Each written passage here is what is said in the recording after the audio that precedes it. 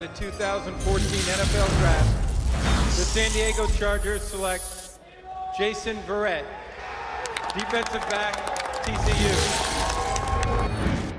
Dire need for the Chargers, and this kid can really play, Chris.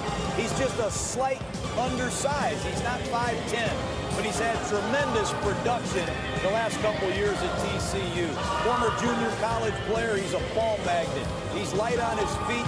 He's improved every year. Outstanding short area quickness.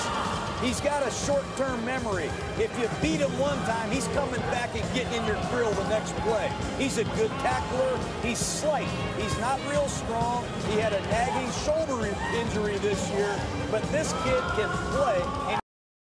This kid is a tough, gritty slot corner who you want on your side. And I'll tell you what, he will tackle. He was on that island in man coverage in TCU's defense and held up tremendously well. Really like Jason Verrett. Taking him to San Diego Chargers is a great fit for San Diego. To do what they're trying to do defensively right now, I'm good friends with Jared Johnson. And the things that he talks about is what they're trying to build out there. And for them to get this corner right here, listen, I watch this young kid a lot. This is a football player. This, is, this kid reminds me a lot of Duane Starks, a guy that I won a Super Bowl with. Not big, not big, but will come up and hit you. And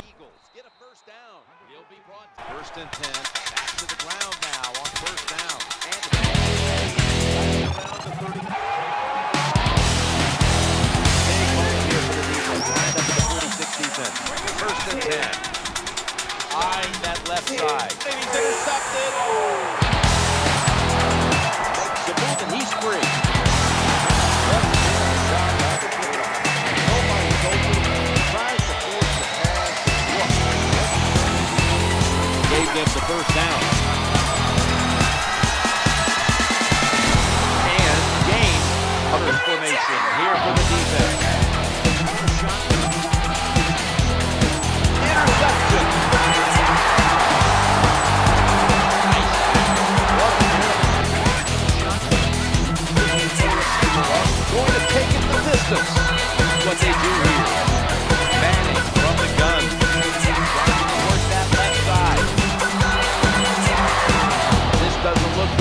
Got a player down, and he's in.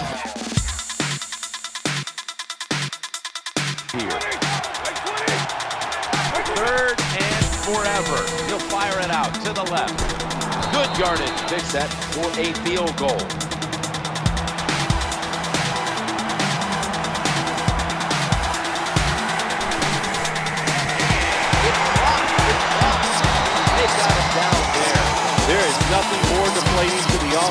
Football team than to watch the field goal